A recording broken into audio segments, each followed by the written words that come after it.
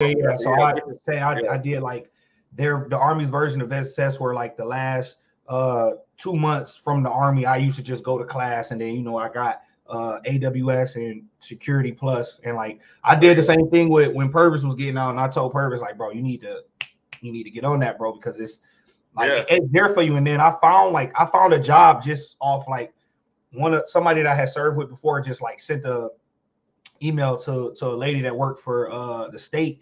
And, you know she shot me emails like hey you know, I want to schedule for an interview. And I was like you know I was like I don't know if I'm ready to work yet or like go right back. Yeah.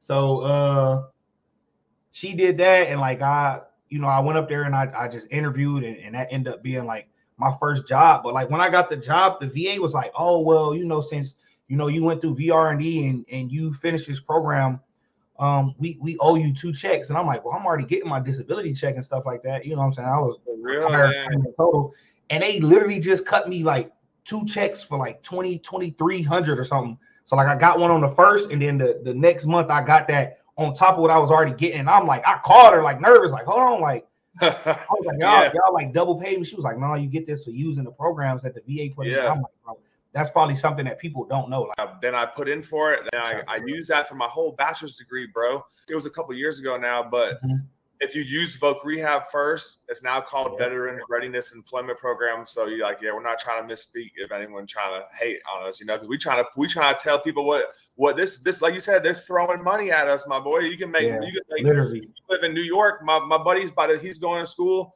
using I think Voc Rehab or I don't know if he's in Voc Rehab yet, but he's using his GI Bill. You know what I'm saying? I think like me, I'm a I'm an overthinker, so I, I refuse to like sit and be dormant so I had saved up enough money for me, you know, to just sit around and do nothing while I was getting out the military and stuff like that. And I was waiting. I was on terminal leave. I was still getting paid anyway.